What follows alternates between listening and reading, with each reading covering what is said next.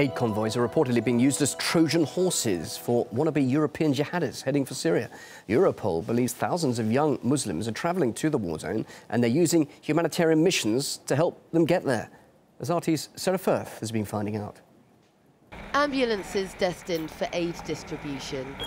Ahead of them, roughly a 3,000 mile journey that will take them across Europe and into the heart of a country cracking under the strain of a devastating ongoing conflict. We drive them here in Britain uh, to France, Belgium, Germany, Switzerland, Italy, Greece, Turkey through Ipsala port, uh, to Istanbul, Ankara, Adana, Antakya, and then we go to Syria.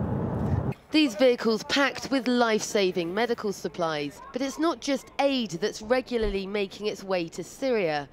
With the number of British fighters in Syria now estimated to be nearing 400, and with the recent revelations that a suicide bombing in Aleppo is thought to have been carried out by a British man who'd been part of an aid convoy.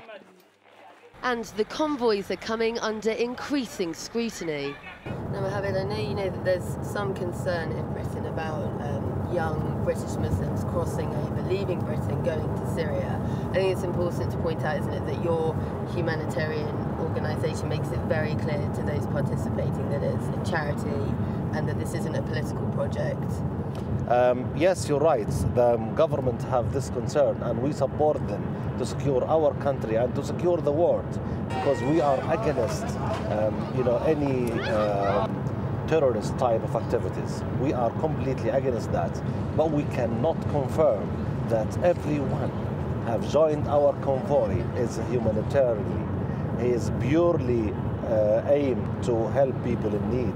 We cannot confirm that. MP for Birmingham, Khalid Mahmood, says he's been warning for years that many young members of his constituency have been going abroad to fight. For the first 18 months, hardly anybody took any notice until about three months ago. Uh, the security services said that there is a concern about the amount of people that are going across uh, who eventually, uh, those that survive, will come back. If they weren't paying close enough attention before, they certainly are now. And in recent months, there's been an increase in the number of Syria-related counter-terrorism arrests. But many feel that might be too little, too late. Certainly closing the uh, door after the horse is bolted. There's no doubt about the scale of need in Syria, but whilst the aid is welcome, British fighters are serving to further complicate the situation on the ground.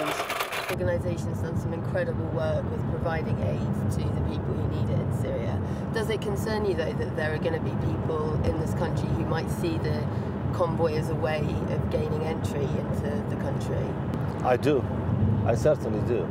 If, if I knew about any of them joining my convoy, I would completely discourage that from my convoy because that will basically affect the credibility and the, um, you know, the trust that we have gained. Many of those who make the long journey to Syria risk their lives on the front line to help those desperately in need.